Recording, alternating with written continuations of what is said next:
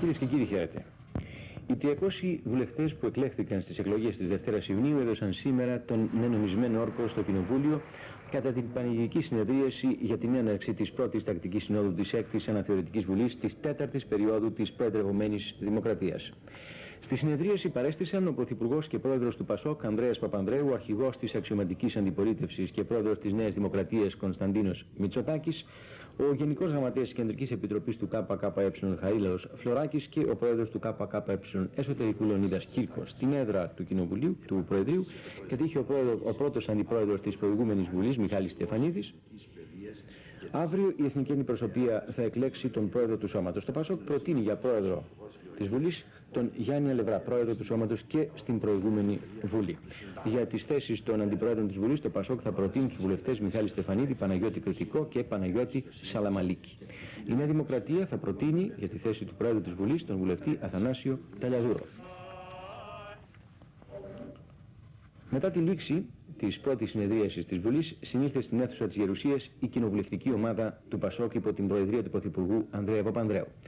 Ο Πρωθυπουργός ανέπτυξε στην κοινοβουλευτική ομάδα την πολιτική σημασία της εκλογικής αναμέτρησης της Δευτέρας Ιουνίου και χαρακτήρισε την νίκη του Πασόκ πολύ πιο σημαντική ιστορικά από εκείνη του 1981. Σε σύντομη δήλωσή του μετά τη συνεδρίαση, ο Πρωθυπουργός είπε ότι οι βουλευτές και η κυβέρνηση ξεκινούν με κέφι και με ενθουσιασμό και με βαθύτατο αίσθημα της αλλαγής να προχωρήσουν το όραμα της Νέας Ελλάδας αυτή την τετραετία. Απαντώντας σε ερωτήσεις, ο Πρωθυπουργός είπε ότι ως την Τετάρτη θα πρέπει να έχει καταλήξει σχετικά με το νέο κυβερνητικό σχήμα. Το απόγευμα συνεδρίασε η κοινοβουλευτική ομάδα της Νέας Δημοκρατίας. Τους βουλευτές μίλησε ο πρόεδρος του κόμματος, Κωνσταντίνος Μητσοτάκης, που είπε ότι η Νέα Δημοκρατία συνεχίζει τη διερεύνηση των συνθήκων της εκλογικής αναμέτρησης και τόνισε ότι το κόμμα θα κάνει αυτοκριτική αφού βγάλει τα συμπεράσματά του. Ο κ. Μητσοτάκης είπε ακόμα ότι η Νέα Δημοκρατία θα προτάξει το θέμα της λειτουργίας της Δημοκρατίας, ενώ για την εξωτερική και οικονομική πολιτική θα ασκήσει σκληρή αλλά υπεύθυνη αντιπολίτευση.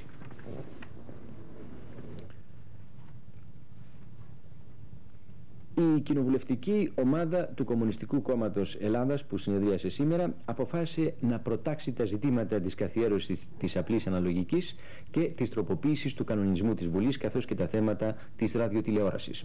Στο κέντρο του ενδιαφέροντος της κοινοβουλευτικής ομάδας του ΚΚΕ θα βρίσκονται τα προβλήματα των εργαζομένων. Να περάσουμε στις εξωτερικές ειδήσεις και πρώτο θέμα βέβαια η αεροπειρατεία. Ο Σιήτης μουσουλμάνος ηγέτης Ναμιμπέρι δήλωσε σήμερα ότι όλοι οι όμοιροι που βρίσκονταν στο αεροπλάνο των Αμερικανικών αερογραμμών μεταφέρθηκαν σε μυστικό μέρος της Δυτικής Βηρητού για να αποφευθεί κάθε απόπειρα ξένων στρατευμάτων να τους απελευθερώσουν. Είπε επίσης ότι εγγυήθηκε σε Αμερικανούς και Έλληνες αξιωματούχους ότι οι όμοιροι είναι καλά στην υγεία τους και ότι θα φεθούν ελεύθεροι μόλις απελευθερωθούν 700 Σιήτες μουσουλμάνοι που κρατούνται σε φυλακές του Ισραήλ. Εν τούτης, αρκετοί αξιωματούχοι του αεροδρομίου της Βηρητού επιμένουν ότι οι όμοιροι εξακολουθούν να βρίσκονται μέσα στο Boeing 727 της TWA. Επίσης, συγκεκριμένες πληροφορίες υπάρχουν σχετικά με τις θετικές κινήσεις των Αμερικανών. Οι Σιήτες μουσουλμάνοι, τους οποίους κρατούν Ισραηλινοί, επρόκειτο να αφαιθούν σταδιακά ελεύθεροι, αλλά τώρα η Ισραηλινή κυβέρνηση διστάζει να τους απελευθερώσει, φοβούμενη την αντίδραση της κοινή γνώμης. Πολλοί Ισραηλινοί αξιωματούχοι, μεταξύ των οποίων και ο πρώην αρχηγός της Ισραηλινής Αντικατασκοπίας, Μέιρ Αμίτ, υποστήριξαν ότι η επουδενή κυβέρνηση Σιμών Πέρες πρέπει να υποκύψει στις απαιτήσεις των αεροπειρατών. Και πρόσθεσε μάλιστα ότι όλα τα κράτη πρέπει να συνεργαστούν για την καταπολέμηση της τρομοκρατίας. Στην Αθήνα, έγιναν σήμερα γνωστές λεπτομέρειες σχετικά με τις ενέργειες της ελληνικής κυβέρνησης για την ομαλή κατάληξη της αεροπειρατείας που εκδηλώθηκε το πρωί της Παρασκευής στο αεροπλάνο της TWA. Οι διπλωματικοί κύκλοι στην Αθήνα επισήμαναν ότι η ταχύτατη ενέργεια της ελληνικής κυβέρνησης να αρχίσει διαπραγματεύσεις με τους αεροπειρατές για την απελευθέρωση των Ελλήνων επιβατών του αεροσκάφους δημιούργησε κλίμα διαπραγματεύσεων στους αεροπειρατές και ταυτόχρονα έδωσε πολύτιμο χρόνο σε όλους όσους ενδιαφέρονταν να λύσουν το πρόβλημα και να το αντιμετωπίσουν. Ο Έλληνας πρέσβης στο Αλγέρι άρχισε να διαπραγματεύεται την απελευθέρωση όλων των ομήρων και πέτυχε να φερθούν ελεύθεροι οι γυναίκες και τα παιδιά. Τελικά οι απελευθερωθέντες έφτασαν στους 68, σχεδόν δηλαδή οι μισοί επιβάτες που είχε το αεροπλάνο. Η ελληνική πρωτοβουλία έγινε δεκτή με ευμενή σχόλια από τους Αλγερινούς διαπραγματευτές και όλους τους πρέσβεις και διπλωμάτες που βρίσκονταν εκείνη την ώρα στο αεροδρόμιο του Αλγερίου.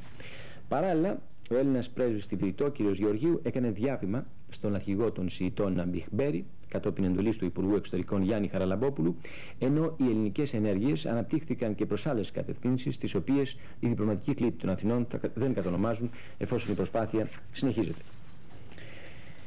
Στη Λευκοσία, ο πρόεδρος του Σοσιαλιστικού Κόμματος ΕΔΕΚ, Βάσος Λισαρίδης, τάχθηκε υπέρ της διεξαγωγής δημοψηφίσματος και προεδρικών εκλογών στην Κύπρο. Ο κ. Λιζαρίδης είπε ότι πριν από οποιαδήποτε εκλογή θα πρέπει να γίνει δημοψήφισμα, ώστε ο πρόεδρος θα είναι υποχρεωμένος να ακολουθήσει τη λαϊκή τιμιγορία στο συγκεκριμένο θέμα για το οποίο θα αποφανθεί τελικά ο λαός.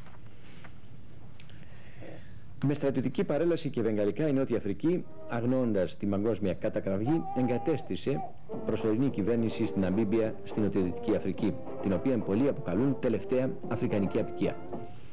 Ο πρόεδρος της Νότιας Αφρικής, Πίτερ Μπόθα, μετά την υπογραφή διακήρυξης που δίνει στην Αμίμπια ημιαυτόνομο καθεστώς, δήλωσε ότι το μέτρο είναι προσωρινό. Την εξουσία στην Αμίμπια διεκδικούν πολλές οργανώσεις μαύρων. Ο Σοβιετικός ηγέτης Μιχαήλ Κορμπατσόφ δεν πρόκειται να λάβει μέρος στη συνεδρίαση της Γενικής Συνέλευσης του Οργανισμού Ηνωμένων Εθνών το Δεκέμβρη.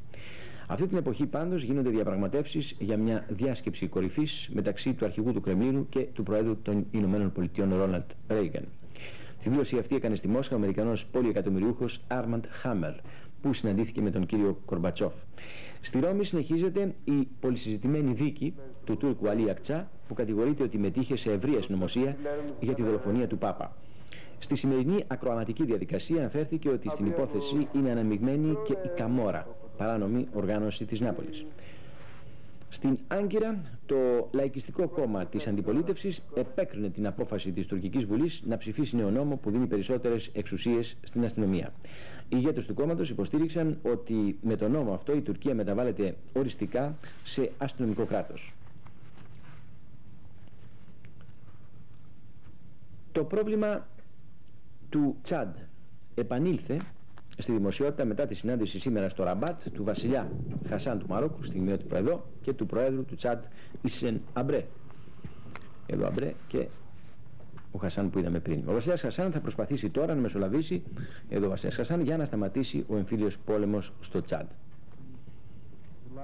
Πέντε Αμερικανοί αστροναύτες, μεταξύ των οποίων μια γυναίκα που γεννήθηκε στην Κίνα, ένας Γάλλος διπλωμάτης και ένας Σαουδάραβας πρίγκιπας βρίσκονται μέσα στο Αμερικανικό Διαστημικό Λεωφορείο Discovery που εκτοξεύθηκε το πρωί από το ακροτήριο Κανάβεραλ. Θα μείνουν στο διάστημα 7 μέρες και θα κάνουν πολλά πειράματα. Το σημαντικότερο θα αποβλέπει στην επισήμανση των επιπτώσεων της έλλειψης βαρύτητας στον ανθρώπινο οργανισμό. Στιγμιότυπο από την εκτόξευσή τους. Οι δημοτικές αρχές του Λίβερπουλ, επικεφαλής ομάδων της ομώνυμης αγγλικής ομάδας, αναχώρησαν για το Τωρίνο για να ζητήσουν συγγνώμη από τους Ιταλούς για τις ταραχές που έγιναν στις 29 Μαΐου στις Βρυξέλλες και είχαν αποτέλεσμα να σκοτωθούν 38 φύλαθοι στην πλειοψηφία τους Ιταλοί. Στις Χαρισχάδες της Ευρυτανίας γιορτάστηκαν χτες τα 41 χρόνια από τη σύγκληση του Εθνικού Συμβουλίου. Οι εκδηλώσεις πραγματοποιήθηκαν στο πράβλιο του Ιστορικού Σχολείου των Κορισχάδων που σώζεται όπως ακριβώς ήταν το Μάιο του 1944 όταν πραγματοποιήθηκε το Εθνικό Συμβούλιο και το οποίο το 1983 χαρακτηρίστηκε ιστορικό διατηρηταίο μνημείο από το Υπουργείο Πολιτισμού.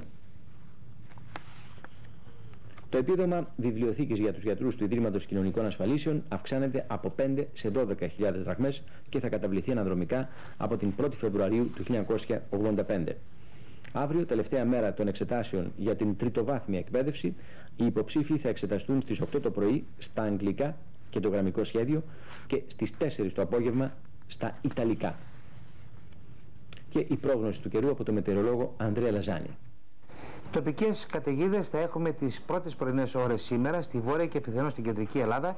Περιμένουμε όμως γρήγορη βελτίωση του καιρού εκτός από τα βόρεια-ανατολικά που αυτό θα γίνει προς το βράδυ. Συγχρόνως η θερμοκρασία θα πέσει και οι βοριάδες θα ενισχυθούν σε όλη τη χώρα.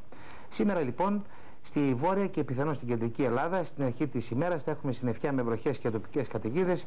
Περιμένουμε γρήγορη βελτίωση του καιρού. Στα βόρεια-ανατολικά αυτό θα γίνει προς το βράδυ, όπως έλεγα πριν.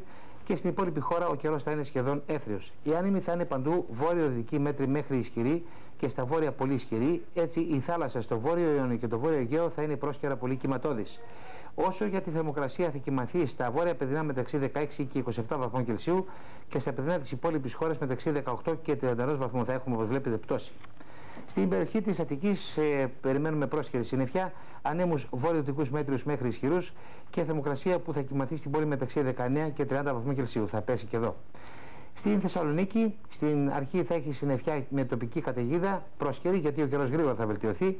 Η άνεμη θα είναι βορειοδυτική μέτρη μέχρι ισχυρή και πρόσκαιρα μέχρι πολύ ισχυρή, με ένταση 7 από φόρ και η θερμοκρασία θα κοιμαθεί στην πόλη μεταξύ 16 και 27 βαθμών Κελσίου. Το επόμενο δελτίο μας το απόγευμα. Καλή νύχτα σας.